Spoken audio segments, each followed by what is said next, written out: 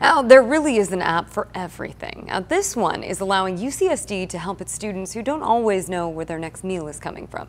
The UC San Diego app alerts students with food insecurity when leftover food is available from social events. More than 700 students have signed up to receive those notifications. Alerts go out about 15 minutes before a social event ends. UCSD has also partnered with Vons to recover food that would otherwise go in the trash.